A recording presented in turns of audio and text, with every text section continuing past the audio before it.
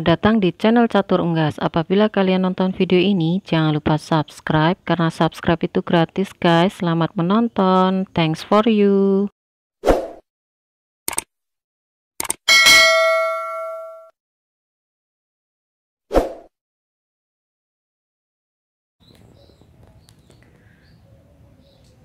Bismillahirrahmanirrahim. Assalamualaikum warahmatullahi wabarakatuh.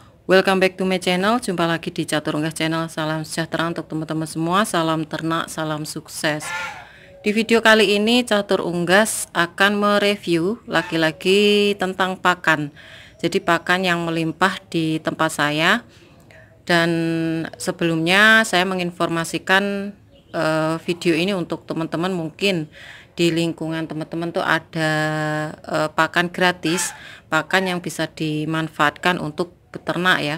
Nah, contohnya yang uh, saya berikan informasi ini ya, teman-teman. Jadi sekali lagi semoga informasi ini uh, menginspirasi atau menjadi satu ide yang bermanfaat untuk teman-teman semua. Nah, untuk racikan kali ini di pagi hari apa saja menu yang kita berikan ke entok jumbo ya, teman. Oke, jangan di skip, ikuti terus di Catur Unggas Channel.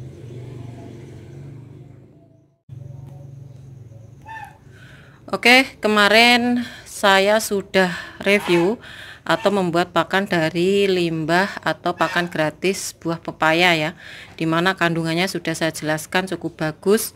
Nah, di sini akan saya informasikan untuk ketersediaan ini ya, pakan gratis di catur unggas. Jadi edisi kali ini ya, teman. Jadi eh, kebetulan ini ada tiga jenis ya melimpah ya termasuk melimpah karena untuk populasi entok saya cuma 20 ekor tapi dewasa semua ya. Nah di sini akan saya perjelaskan untuk e, pakan alternatifnya dulu ya teman. Di sini saya punya e, ketersediaan untuk pakan alternatif atau pakan gratis yaitu daun pepaya. Nah, selain daunnya, saya juga memakai buahnya yang sudah saya parut ya, teman ini segini ini sekitar 6 6 buah 6 butir buah. Tapi agak kecil-kecil jadi saya parut seperti ini. Lumayan untuk tambahan ya. Jadi ini udah e, menghemat berapa kilo atau berapa on di pakan pokok nanti akan saya perjelaskan juga ya. Nah dan di sini sudah ada batang sawi. Dan ini untuk e, jadwal pakan sore ya teman ini jadwal pakan sore nanti sore uh, bisa saya potong kecil-kecil ya. Sekali lagi uh, kuncinya harus telaten. Teman-teman harus uh, jadi peternak kreatif harus mencari solusi-solusi. Kalau cuma instan kita cuma pakan beli itu cukup mu, apa menurut saya cukup mudah ya karena kita nggak mikir harus pakai pakan apa untuk menghemat pakan beli pembelian ya. Nah itu nanti pasti untuk keuntungannya itu minim. Tapi kalau kita kreatif uh, untuk meng apa itu? Mensiasati pakan itu kita akan uh, lebih banyak keuntungan ya. Dan di sini juga masih ya untuk daunnya ya teman-teman jadi untuk eh, komposisi yang pertama itu kita pakai dedak ya. Ini pakai dedak. Ini sekitar satu kilo. Biasanya saya memakai itu 2 kilo kurang seperempat ya. Jadi eh, satu tiga perempat ya. Satu kilo lebih tiga perempat ya. Dan ini kita cuma pakai satu kilo karena udah ada pakan tambahan ya yaitu daun pepaya dan juga buahnya. Terus kalau untuk indukan ini satu kilo ya teman. Eh maaf setengah kilo atau 2 liter. 2 liter tuh sama dengan uh, setengah kilo karena udah saya coba untuk uh, presisi antara liter dan kilo ya. Kadangkala teman-teman tuh masih bingung. Terus untuk proteinnya kita memakai 15 pur 15 seperti biasa. Ini diseduh pakai air hangat ya teman. Jadi pakai air hangat. Kalau e, seumpama pas nyeduhnya itu pakai air mendidih bisa dicampur dengan air dingin ya. Jadi untuk fungsinya untuk meleburkan pur agar nanti diaduk di adonan itu bisa merata. Jadi untuk indukan atau untuk pembesaran atau untuk entok itu bisa merata untuk uh, asupan proteinnya ya. Dan ini untuk nasi sisa ya. Ini bukan nasi aking nasi sisa karena nasi aking saya sudah habis ya untuk ketersediaannya. Saya uh, mendapatkan untuk nasi sisa segini dari dapur sendiri ya. Oke jadi untuk komposisi kali ini itu aja. Untuk racikannya kita tuangkan nasi akingnya. Maaf nasi sisa ya nasi aking juga seperti ini ya teman. Nah kalau udah jadi kita langsung racik aja teman-teman. Untuk indukan saya nggak pakai daun pepaya pakai buahnya aja. Kayak gini ya. Untuk indukan itu memakai uh, hijauan nggak mau nggak apa ya teman. Asalkan untuk komposisinya itu dalam batas wajar. Jangan kebanyakan ya. Nah kalau udah kayak gini dituangkan untuk seduhan pur 15 nya nah kayak gini.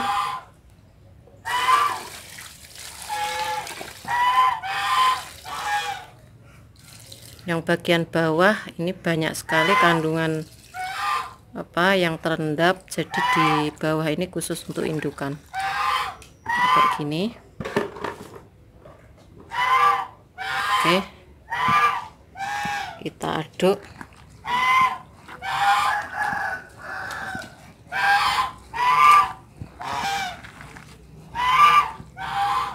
Aduknya merata ya teman-teman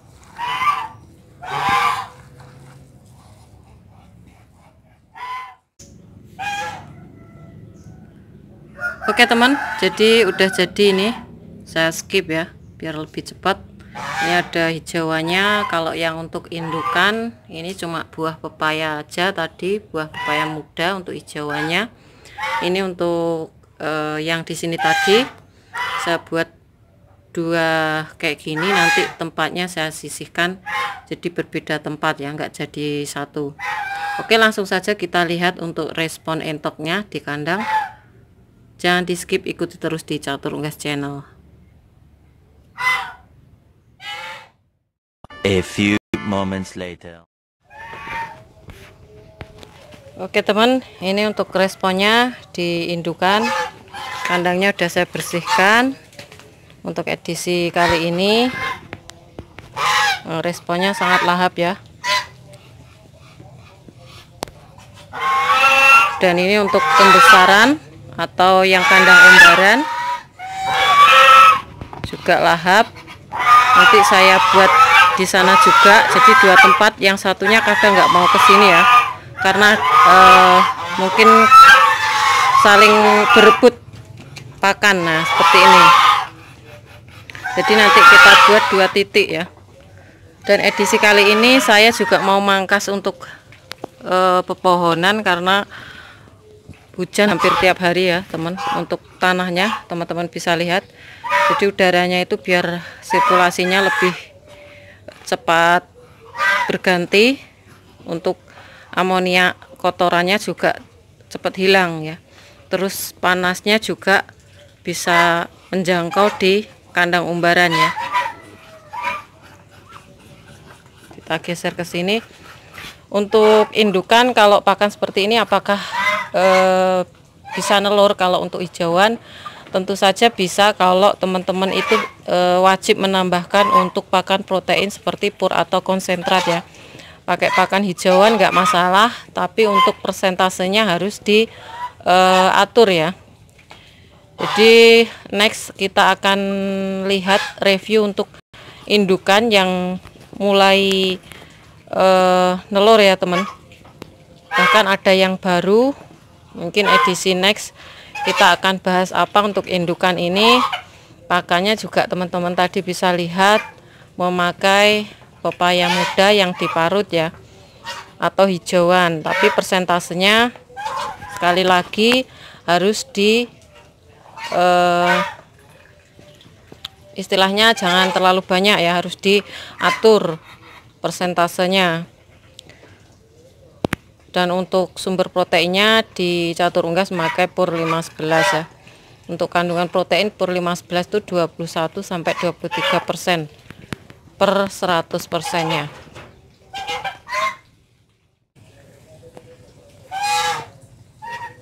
yang satunya saya tempatkan di sana teman-teman. Jadi ada dua titik agar tidak berebut ya makannya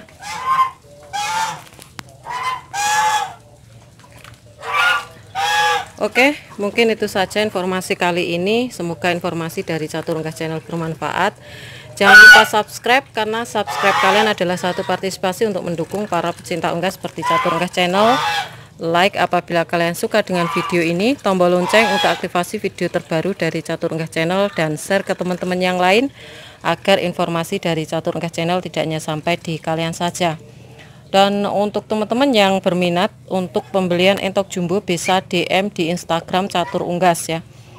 Dan juga untuk pembelian telur fertil dan kebetulan uh, untuk indukan banyak yang nelur nih. Next akan saya review. Untuk kita semua semoga diberikan kesehatan, keselamatan, panjang umur, kelancaran rezeki serta perlindungan dari Allah Subhanahu wa taala. Dan cukup sekian. Terima kasih. Sampai jumpa di video selanjutnya. See you next time.